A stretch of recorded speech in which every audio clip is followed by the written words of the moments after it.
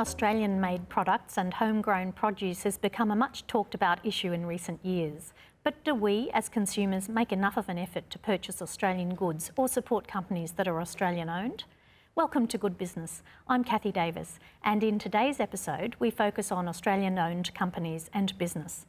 On the panel, we have Better Business Director and business expert Brian Brown, and Sealy's National Sales and Marketing Manager Ross Gage to discuss Australian made products. Later, we go on location to Bauer's Organic Farm to interview owner and manager Rob Bauer on his family run business and the importance of Australian grown produce.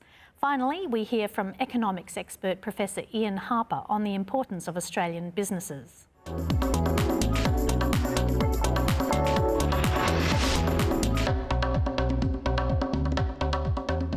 Of us will recognise the iconic AMAG logo, which stands for Australian made and Australian grown, but only 68% of shoppers make their purchase based on this information. Are Australian made products and Australian grown produce selling points for consumers? Welcome to the panel, Brian. Thank you.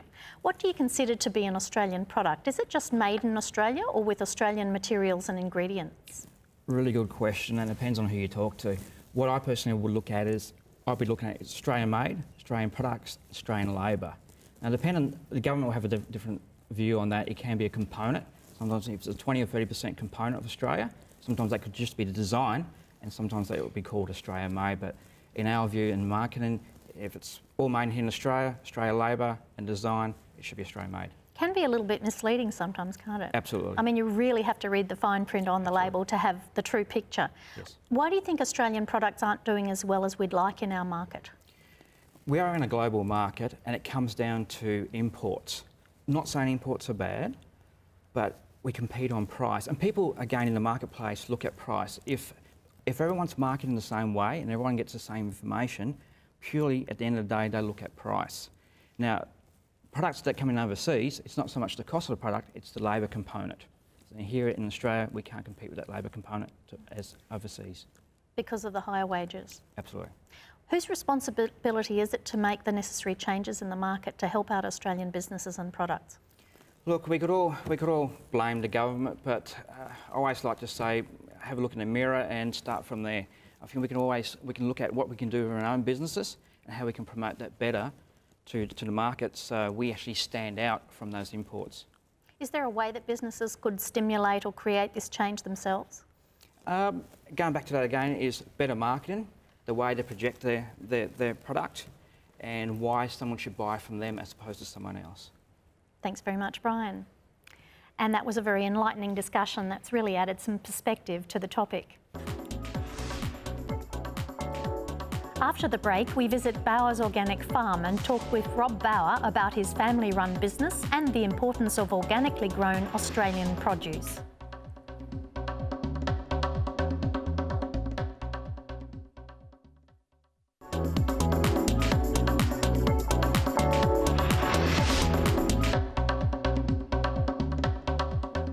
Welcome back to Good Business. We recently spoke with Rob Bauer, the owner and manager of Bauer's Organic Farm, who supplies restaurants and markets nationwide with their traditionally grown produce. Let's hear what he had to say. Well, my name's Rob Bauer from Bauer's Organic Farm, and actually, uh, this is a farm that was settled by my great grandfather back in 1885. Uh, I'm the fourth generation on the farm. Myself and two sons are here now and a few grandkids. And uh, we, we have about a thousand acres now. About 500 of that we use for growing certified organic veggies and the other half used for running beef cattle, certified organic beef cattle. I think we've, we've, got, we've got time on our side. We started off uh, about 30 years ago, or I started off about 30 years ago, not using poisons. Before that I did use poisons, but 30 years ago I took the took the decision to stop using poisons and um, and grow completely without poisons, which later on we got became certified organic in 1992. We became certified organic, and uh, we've grown steadily since then. Now, why why have we done? We come quite large now, and that's because uh, we market well, we promote well, and we only market top quality produce. At the moment we're harvesting potatoes, celery, carrots and a few sweet potatoes. I think the homegrown, uh, uh, homegrown being grown in Australia, I think that's extremely important because we've already lost a lot of our production of primary product. The, the valley has lost beans, peas, corn uh, that used to be grown here and, and marketed in the frozen state. Uh, so most of the, a lot of the processed stuff in the supermarkets and in the other shops is now not grown in Australia. So really fresh produce is our last stand. So it's important that we get that connection with the consumer, with our fresh produce, and hopefully the consumer will support us and, and buy Australian grown. We market it any way we can think of. So it's marketed all over Australia through through organic stores, through home delivery people, through the supermarkets. Some of it's sent overseas, and more recently we've just started up. The last six weeks we've started up a home delivery direct from our farm, and only what we grow, only what we grow on our farm, straight to the house housewife or house husband, straight to the kids. Yeah. The two major supermarkets, Coles and Woolies, both. Uh, take majority of our produce, yeah. Uh, directly, Coles been getting our stuff directly for four or five years and uh, Woolworths have just started this year getting directly, but we have been selling them through another agent to them through another agent for a fair, for a fair while. Uh, look, the key is to get government support so that the, the housewife and house husband know where it's come, where their product's coming from, so it's clearly marked and clearly labelled, so the, the discerning house, the discerning buyer knows where it comes from. Yeah, it's a, a few of the reasons why we have, I think, why we have been successful is because uh, we're lucky enough to have some of the best soil in the world here at Mount Sylvia in the Lockyer Valley. We have some wonderful underground water. It's, it's drinkable, it's like tank water, so we use that for irrigation. And uh, we have a climate that's uh, very, very good. And we grow stuff in season and we grow it organically, so it hasn't got any poisons in it, so it tastes magnificent. One of the really satisfying things for me is to see the, the truckloads of organic produce going out every day without poisons on going to feed our young kids. And uh, that's really satisfying because I know they can't make a choice for themselves so they're relying on somebody else. So as a farmer we, we feel responsible to feed them food that's non-poisoned. An important point in the whole turnout is the fact that uh, people can come to the farm and uh, have, we have field days regularly, we advertise on our website and see where the product's grown and make that connection with, a, with, an, with an Aussie farm, one of their own farms and in, in, the, in the future to, would, be, would be great to see the whole of Australia turn organic. I think that's what we should do. We're the youngest, cleanest country in the world probably and uh, we could do it.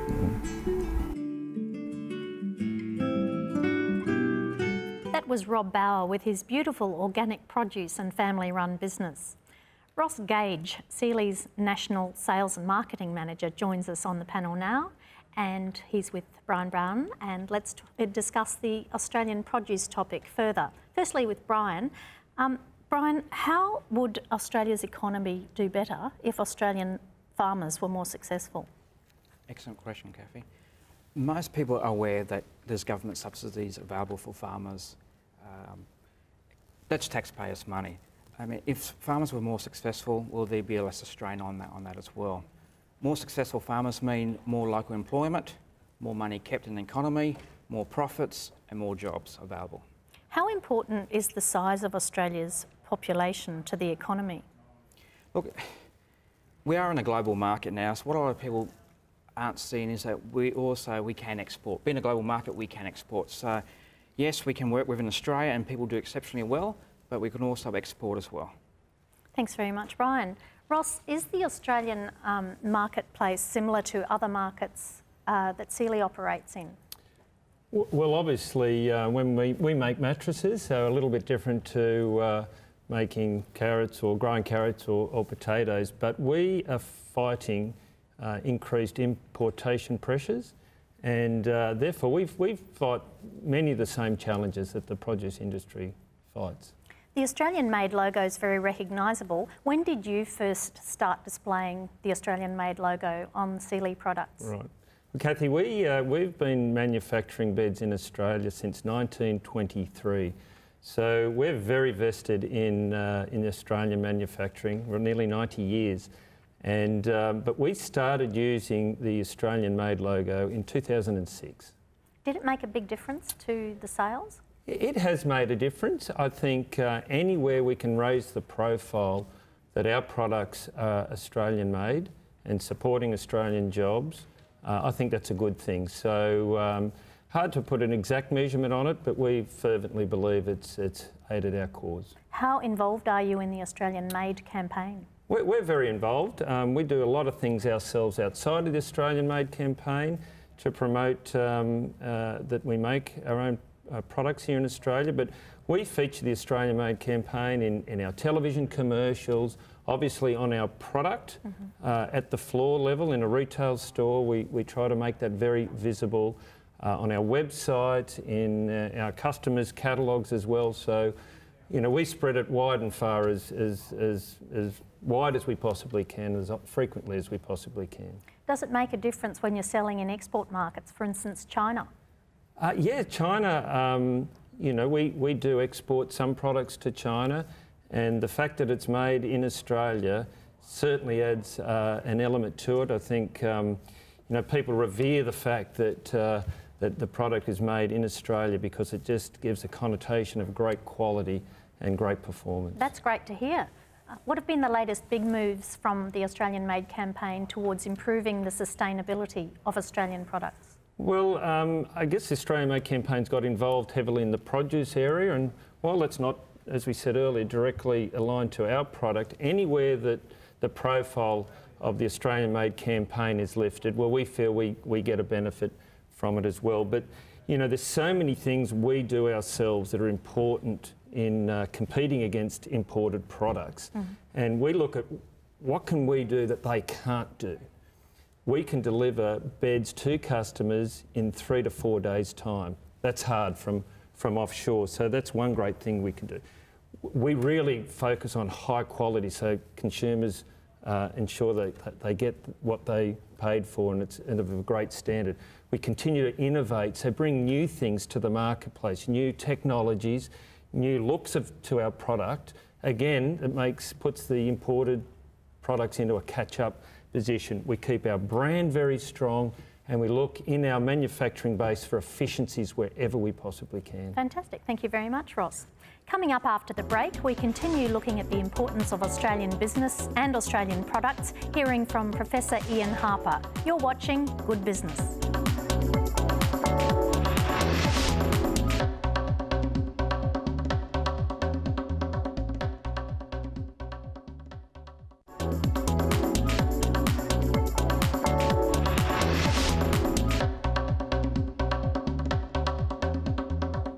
Welcome back to Good Business.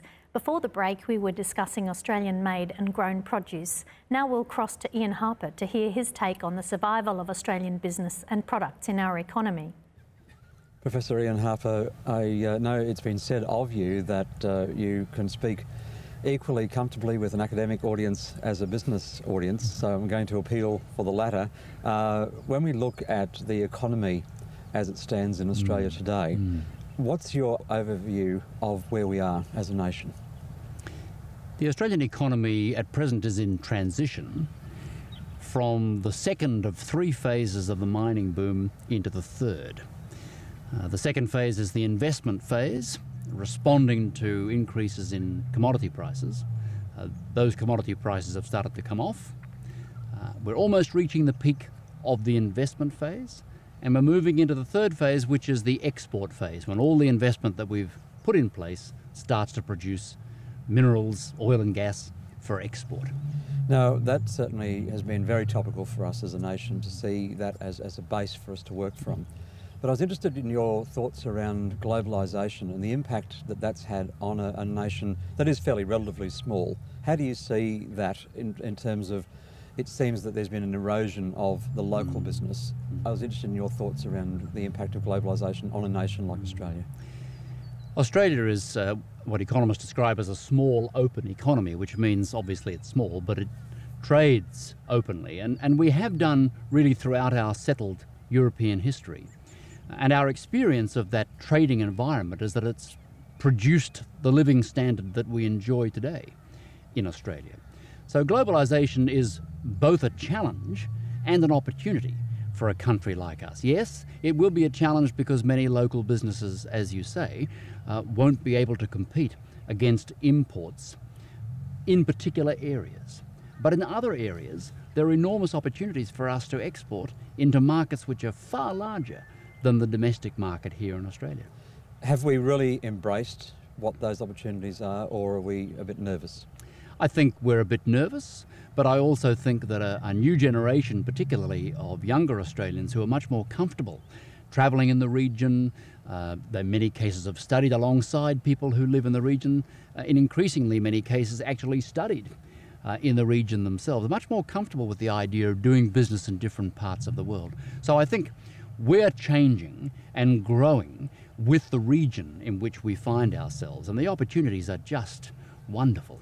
And in southeast Queensland and, and through areas like Springfield, Ipswich City Mm. is obviously a, a, a hotspot Mm. for massive growth. Mm. What's your take on, on this whole notion of the live, learn, work, play uh, philosophy?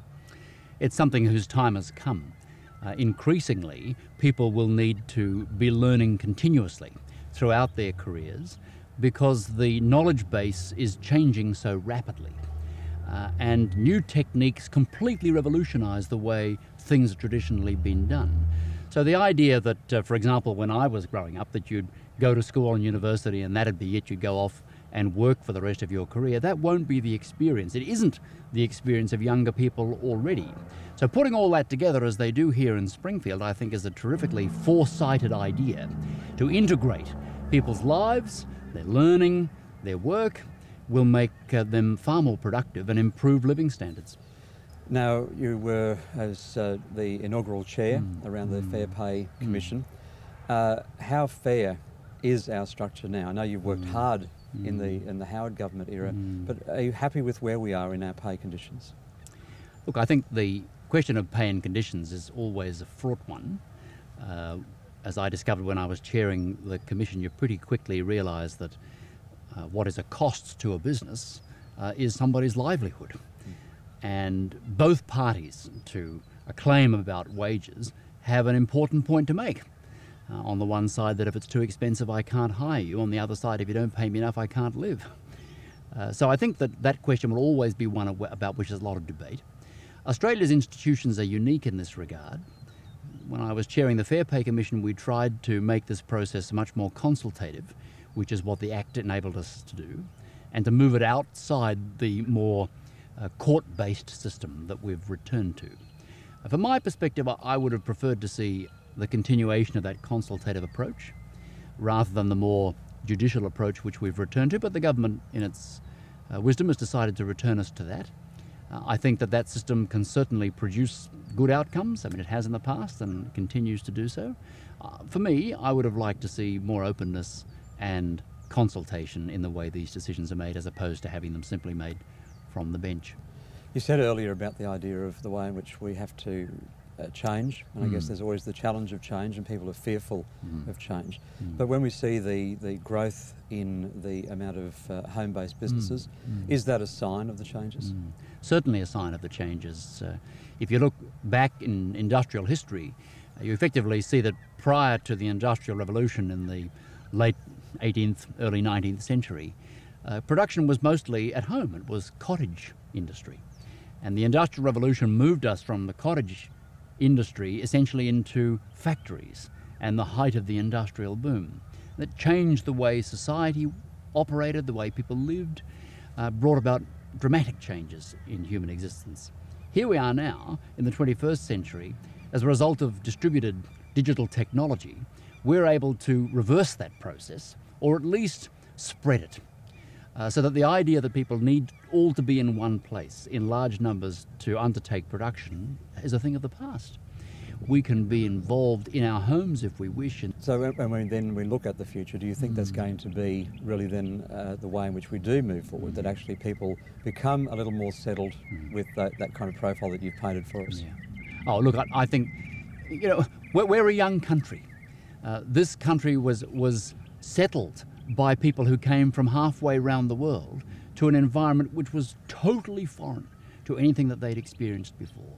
all of the rules that they'd learned about life in Northern Europe and in Britain just didn't apply to a place like this. And we made lots of mistakes. In the early years, we nearly starved. But through innovation, invention, courage, determination, sheer get up and go, we have turned this country into a first world nation of 23 million people. Here in Asia, the fastest growing part of the world, how could we not have a bright future? And I think Australians, particularly the younger generation, which is so much more alive to the possibilities uh, that lie ahead, I think we have every prospect of continuing to be one of the world's great, rich nations, but also distinctive in our own Australian way, well into the future. Ian Harper, thank you for joining us. Thanks for having me. Those were some really good points from Professor Ian Harper. What does our panel think about Ian's comments on the Australian economy? Ross, would you say that Ian is right in saying that Australia is capable of much more than we're achieving now? I think so. As the professor said, we're, we're relatively a young country, we're a vibrant country, we're an energetic country. We've caught up to the rest of the world in a very short period of time. So I think there's a, uh, a great opportunity for us to continue, continue to innovate, and continue to grow. Brian, before we go on, could I get your final word on the importance of Australian made products in the marketplace? Yeah, sure. Australian made products, what that means to us is we're keeping money in our economy, we're here keeping jobs, we're keeping our skills within Australia. From a consumer's point of view is when you're buying, look at the label, make sure it's Australia made, not somewhere else. Again, going back to the business, don't forget that we're in a global economy. We can export, send our Australia made product, product out there and show them how good Australia made product really is. Thanks, Brian. And Ross, what about you? How do you think Australian products will fare in the future? Well, we at Sealy um, really believe we can compete effectively against uh, imports. And I, I, think it's all about offering great value to, uh, to the consumer. And to that end, um, we've just invested significantly in uh, new plant and equipment to be able to produce our products more effectively. And uh, we're about to open a new factory in Melbourne, a brand new factory down there. First time we've opened a, a factory from scratch for nearly 40 years. So it's really, um, you know, that is our commitment to Australian made um, manufacturing. It's more than just a patriotic thing we do believe it's, uh, it's about bringing great value to the, to the customers. So provided we innovate, provided we become efficient in everything we do, we promote our brand and our products effectively, and fourthly, if we service our customer really well, we believe Australian manufacturing will fare very positively in the future. Thank you very much. And I'd like to thank all our panel members today for their great contribution to the discussion on Australian made and Australian grown products and produce.